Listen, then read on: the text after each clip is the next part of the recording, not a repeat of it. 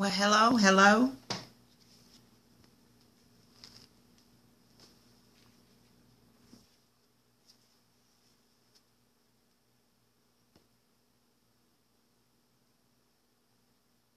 Good Sunday evening. Come on in, come on in.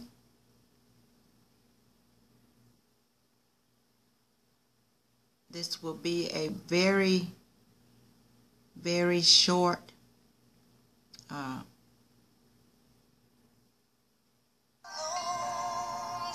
Oh wow. Trying to stop it. This will be a very short scope. The beginning of a scope series, Holiday Prayers and Hope. Prayers for the holiday.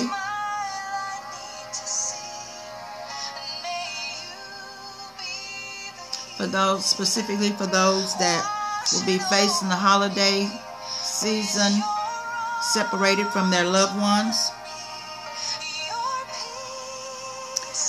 Usually during the holiday season, it is the toughest time of the year for those that uh, loved ones are no longer with them.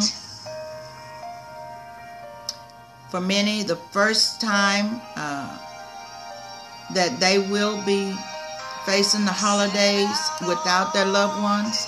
And so my heart is passionate for them uh, because I understand, I know how difficult it can be. I know how difficult it can be facing the holiday season without your loved one, especially for the first time.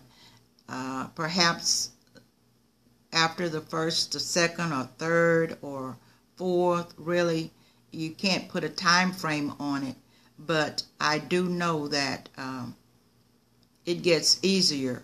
It gets easier, and nobody can set a time frame to say uh, when it gets easier. Uh, so, but we do want to encourage you and to uh, let you know that you are not alone. Well, you might say, well, how do I know I'm not alone? The simple fact that God has laid it upon my heart to do these scopes uh, specifically for those that are in bereavement, those that are grieving the loss. It lets you know that he cares and he is concerned about you and he wants to comfort you and carry you through uh, this season.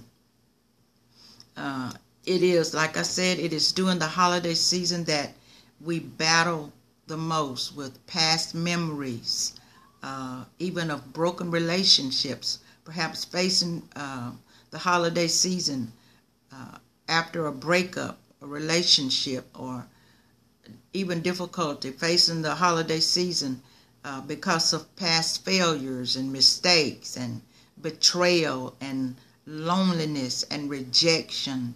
There is so much that's going on in life at this particular time. There's so many challenges that people are facing.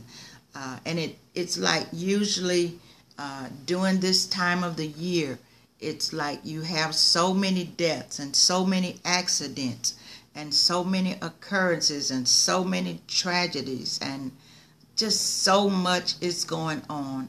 And so there's the tendency uh, to feel, hallelujah, to feel like you can't take it you are just overwhelmed. And so we want to be of encouragement to those persons today. So we ask that you will you will share the broadcast, you will share it with others, perhaps someone that you know, somebody that you know is facing difficulties during this holiday season, somebody that you know uh, have lost a loved one, somebody that you know, if not yourself, that's facing uh, difficulties and hardships, we want to uh, encourage them. So we ask you to invite someone, uh, share the broadcast because we are concerned about those. We want to encourage you and to let you know that there is hope. Whatever you're facing during this holiday season, there is hope and somebody cares. You are not alone. You are not alone.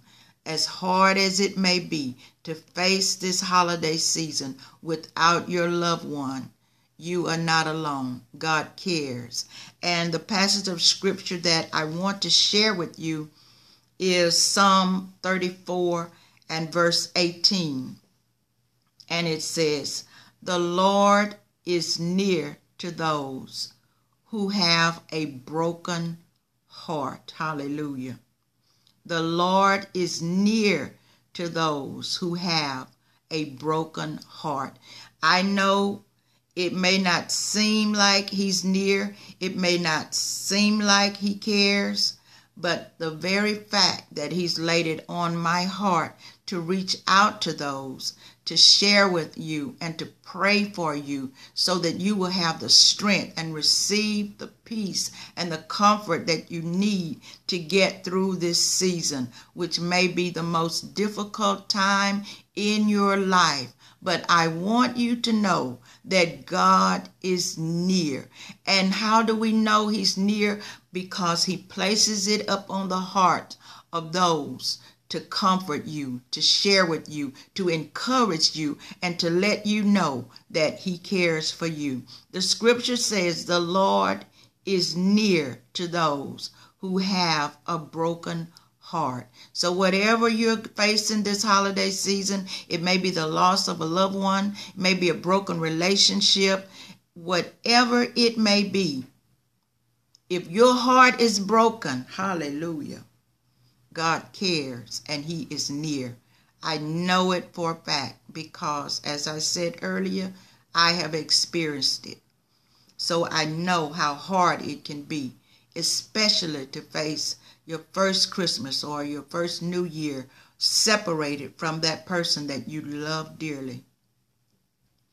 So we want you to know that, and we want to pray for you and to let you know that God cares. He is near.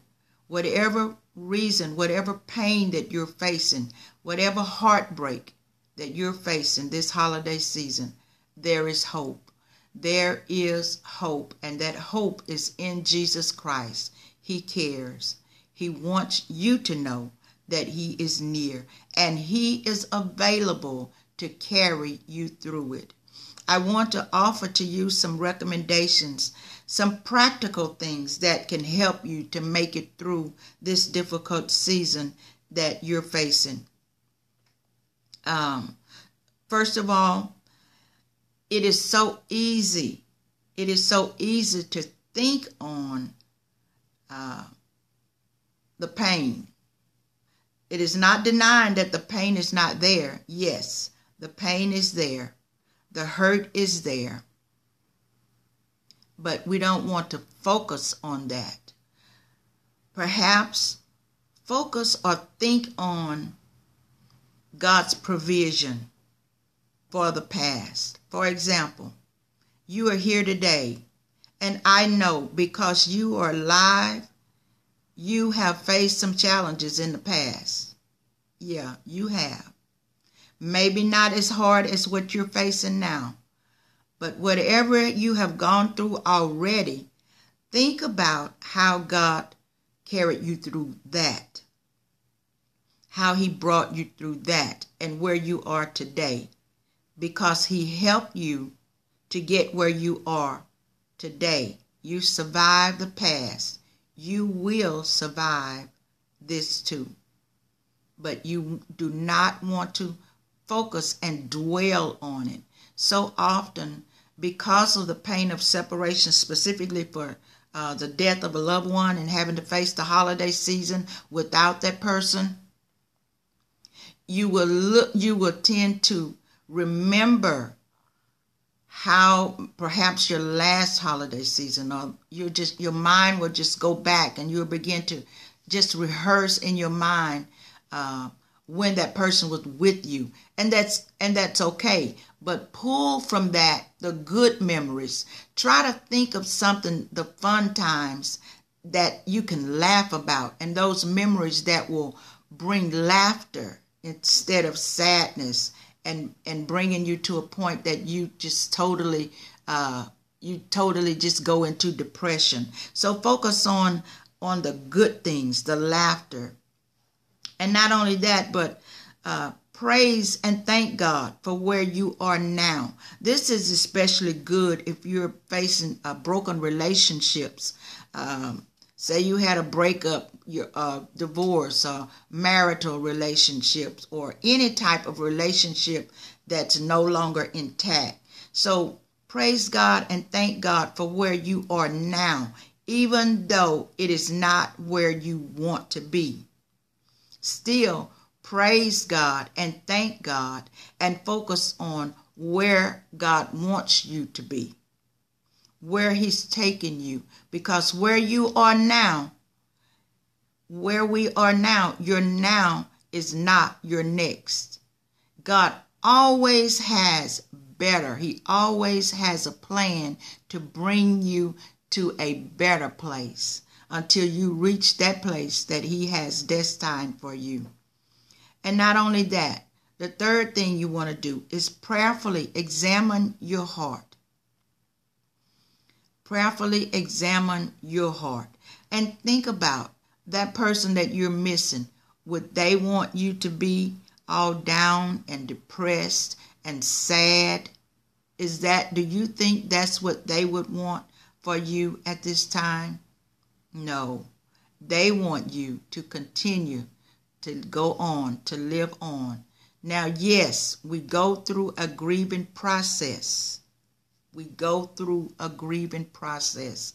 But the thing is, you do not get stuck in that grieving process. It takes time. And as I said, usually the holiday season is the most difficult time, but you will get through it. You can get through it with taking some practical steps and some spiritual steps. Make a list. Make a list of God's goodness. Make a list how God has provided for you. Think about how God has protected you. Think about those situations that you have been in and the dangers that could have been worse, that could have been otherwise and say, God kept me. And for that, you can be thankful. Meditate on God's word. This is so important. This is really key. Meditating on God's word. Uh, some scriptures that I want to share with you. The first one I already gave you Psalm 34 and 18. Also, uh, Psalm 147 and verse 3 uh, Psalm 68 and 19. Really, the Psalms are great places in Scripture to meditate on God's Word because you'll find what the psalmist writes about or his experiences. And uh, most of the Psalms are David, and David was a worshiper and a praiser. And so that's how he got through some of the most difficult times in his life through praise and worship. Use a journal. Start journaling. Journaling your your your thoughts and your feelings. Begin there also as you meditate on the word of God. And you might have some thoughts that are not so good. Anyway, write them down. Why do I say that? Because God knows your thoughts anyway. He knows your thoughts even before you think them. I know that's kind of complex, but yeah, He knows your thoughts. So it's not like you're hiding anything from God. He knows how you feel. But what it does is it helps you to process. It helps you to process and go through those feelings. Write those feelings down. Express those feelings. It's okay to say, Lord, I'm angry. Lord, I hurt. He knows it. So be honest with him.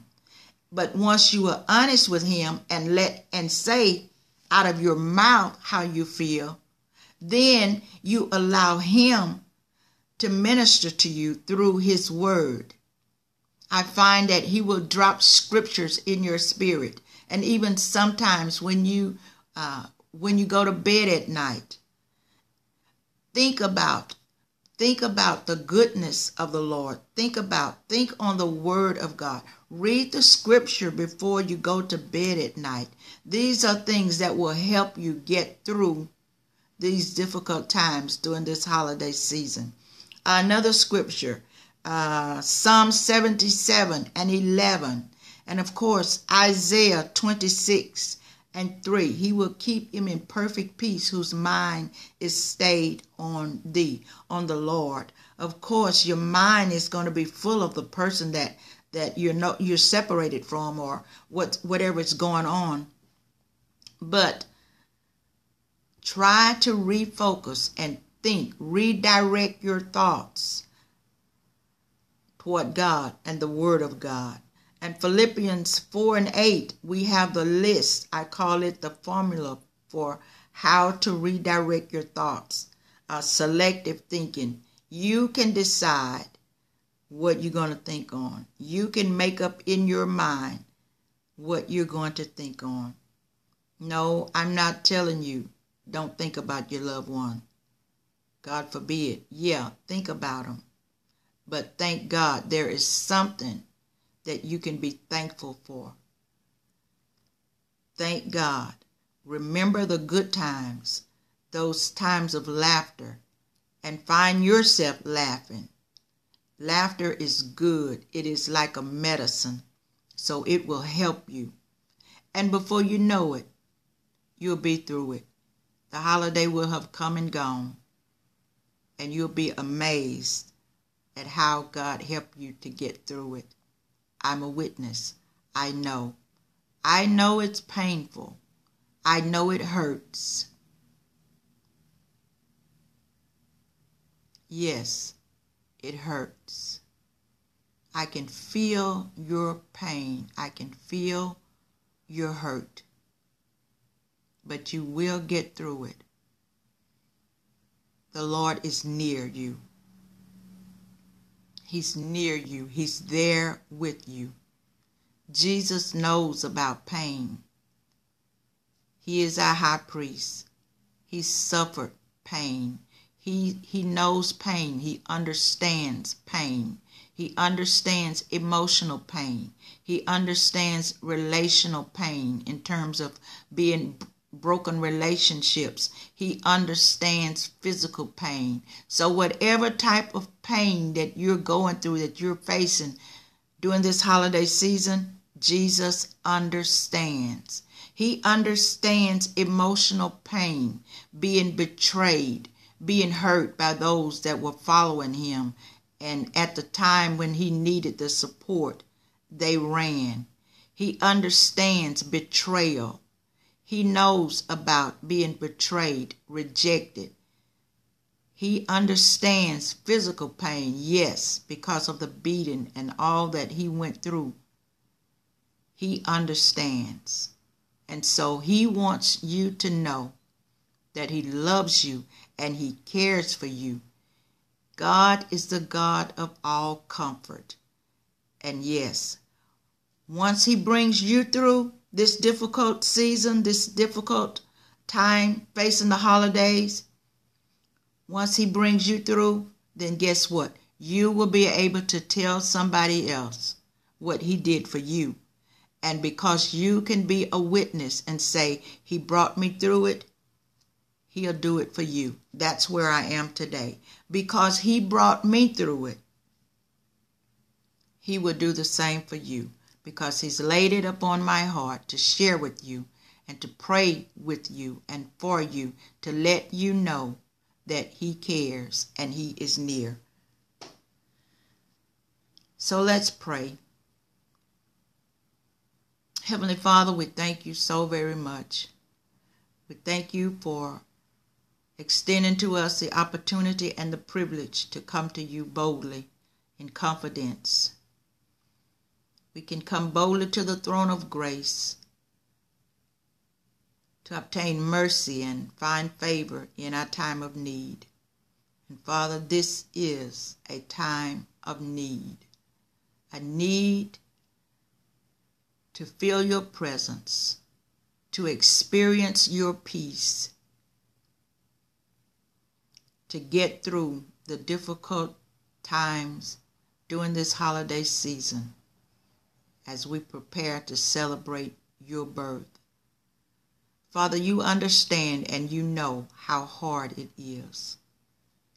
Emotions are all over the place.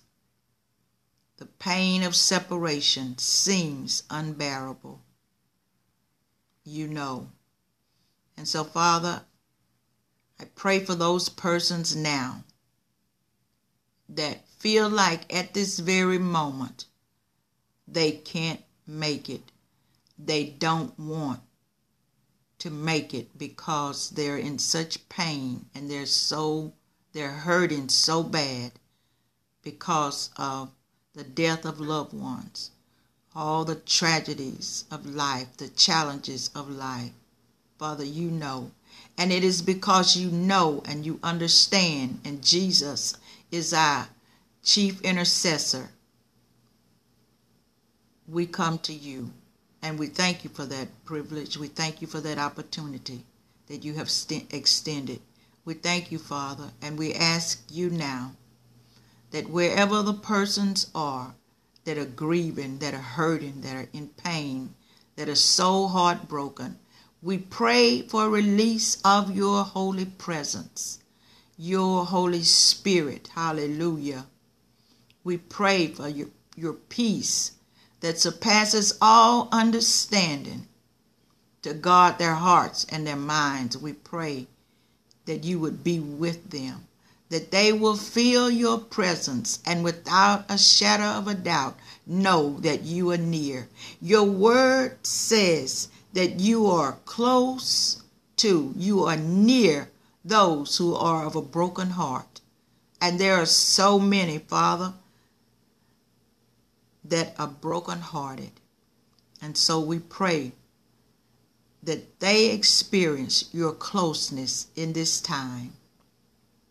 We pray, Lord God, that even angels are dispatched, hallelujah, to give them messages of hope so that they would know that you are near.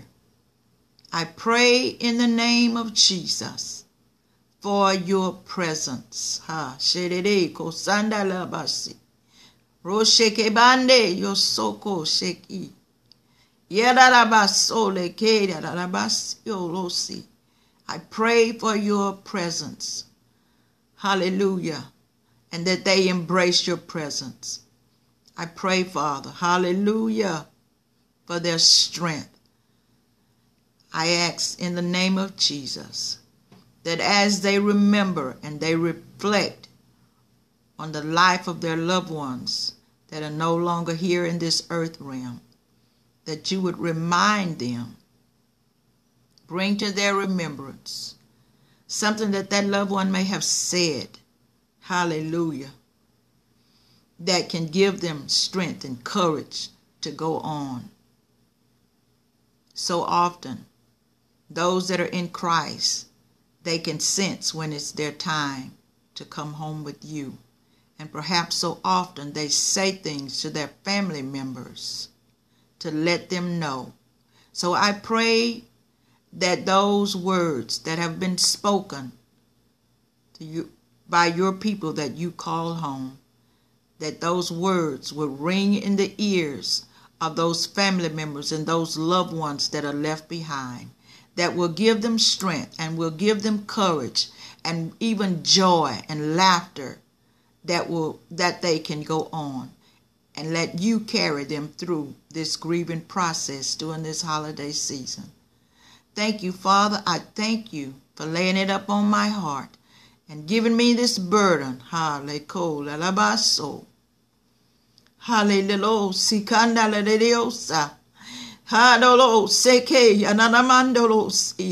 I thank you, Father, that it is evident that you care because you laid it upon my heart for these scopes, holiday prayers, and hope during this holiday season. You are good. Hallelujah. You are long suffering. You are compassionate. And you care about your people, all people. And for that, we say thank you. Thank you so very much. Thank you for your presence. And again, I pray that you would hold them. Let them know that you care. Let them know that you are near. According to your word in Psalm 34 and 18, you are close to, you are near those who have a broken heart. Thank you, Lord. Mend their broken hearts. Heal them. In Jesus' name I ask. And we will give you praise, honor, and glory. Let them receive this. Receive healing. Receive wholeness. Carry them through the process and bring them to the place that you have already purposed for their lives. We thank you so very much and we give you praise, honor, and glory. You are our God, and we worship you. We worship you in spirit and in truth. You are good, and we thank you, and we give you praise. Hallelujah. Hallelujah. Okay, this is our scope. Uh, day one. We'll come again with day two and share with you uh, concerning uh, brokenhearted and facing this difficult time in the holiday during the holidays because of the death of a loved one or broken relationships or whatever is going on, feeling lonely, hallelujah, feeling hopeless. There is hope, and our hope is in Jesus Christ. He is the hope of glory. And whatever you face in this life, Whatever it is that caused your heart to be broken, know that God is near and He is close to you and He wants to rescue you. He wants to heal your broken heart so that you can move on and you can be an agent to help somebody else. Until our next scope, God bless you.